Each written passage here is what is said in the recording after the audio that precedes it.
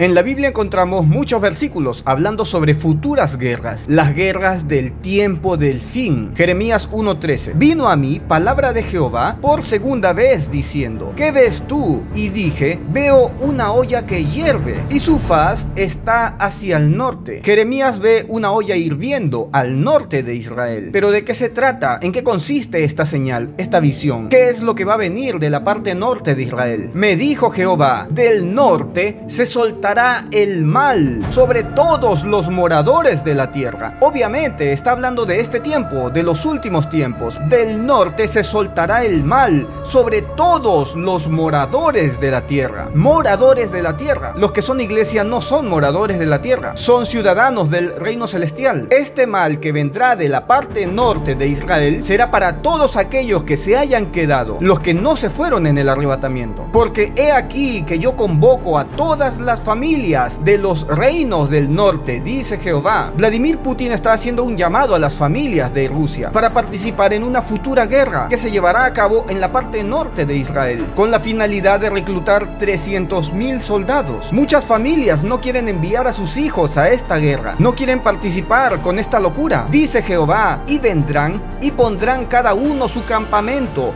a la entrada de las puertas de Jerusalén. Esto se parece bastante a Gog y Magog, y junto a todos sus muros en derredor, y contra las ciudades de Judá. Está hablando de la guerra de los últimos tiempos. El centro de toda la guerra es Israel. Zacarías 12:3. Y en aquel día yo pondré a Jerusalén por piedra pesada a todos los pueblos. Todos quieren una parte de Israel. Todos quieren los altos del Golán. Todos quieren el petróleo, el gas, los minerales de Israel, muchas naciones enemigas de Israel. Y en aquel día yo pondré a Jerusalén por piedra pesada a todos los pueblos. Todos los que se la carguen serán despedazados. Ay de aquella nación que viene contra Israel, será despedazado. Bien que todas las naciones de la tierra se juntarán contra ella. Esto ocurrirá. Esta es la gran guerra profetizada por Ezequiel 38 y 39, la guerra de Gog y Magog. Muchas naciones contra una pequeña nación. Esto ocurrirá. Jeremías 49, 23. Acerca de Damasco, se confundieron Amad y Arfad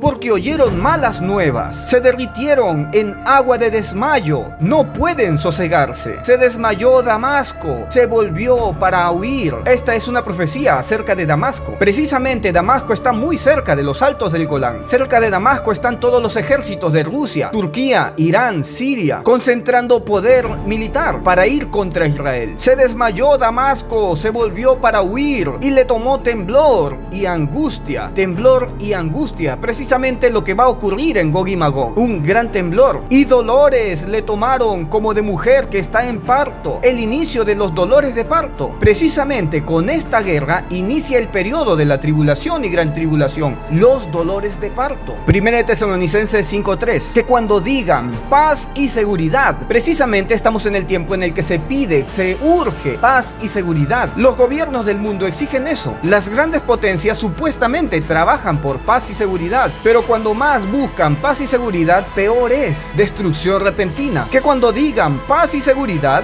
entonces vendrá sobre ellos destrucción repentina. ¿Sobre quiénes? Sobre los moradores de la tierra. Ellos sufrirán el ardor de la guerra que viene del norte, esa olla a presión, como los dolores a la mujer encinta, el inicio de los dolores de parto, la tribulación y gran tribulación, y no escaparán. Precisamente estamos cerca del arrebatamiento. Todo el caos, todo el mal de esa olla hirviendo que está al norte, se desatará en el momento en el que nosotros seamos quitados. Los dolores de parto están a punto de iniciar por causa de esa olla hirviendo que está al norte de Israel. Jeremías 49, 25. ¿Cómo dejaron a la ciudad tan alabada? La ciudad de mi gozo. Hablando precisamente de la nación de Damasco que está al norte de Israel. Por tanto, sus jóvenes caerán en sus plazas y todos los hombres de guerra morirán en aquel día ha dicho Jehová de los ejércitos. Cerca de Damasco están todos estos ejércitos, esperando el momento de atacar Israel, esperando la autorización de iniciar con los dolores de parto. Sus jóvenes caerán en sus plazas y todos los hombres de guerra morirán en aquel día, ha dicho Jehová de los ejércitos. Y haré descender fuego en el muro de Damasco y consumirá las casas de Benadad, fuego que vendrá del cielo, explosión nuclear, armas nucleares. La cosa se va a poner muy fea. Así inician los dolores de parto, con guerra. Mateo 24:6. Y oiréis de guerras. En este momento, claro que sí hay guerras y rumores de guerras. Hay una gran amenaza. La escalada militar cada vez se agrava y se agrava. Es una bola de nieve, una olla hirviendo a punto de explotar. Mirad que no os turbéis, porque es necesario que todo esto acontezca, pero aún no es el fin. Esto es una señal de que todo está a punto de desatarse, pero todavía no. Aún solo son rumores de guerra. Ese es el versículo 6. Pero ¿qué pasa con el versículo 7? Porque se levantará nación contra nación, pero en el versículo 6 son solo rumores de guerra. En el versículo 7 ya se levanta nación contra nación, porque se levantará nación contra nación. Ya no son solo rumores de guerra, se levantan todos contra todos, porque se levantará nación contra nación y reino contra reino, y habrán pestes y hambres y terremotos en diferentes lugares. Los cuatro jinetes del Apocalipsis inician con esta olla hirviendo. Todo está a punto de iniciar, está clarísimo. Y habrán pestes y hambres y terremotos en diferentes lugares. Pestes, hambres, terremotos, los cuatro jinetes del Apocalipsis. La pregunta es, ¿en qué momento nos vamos? ¿Atravesaremos alguna parte de todo esto que viene? Isaías 17:7. En aquel día mirará el hombre a su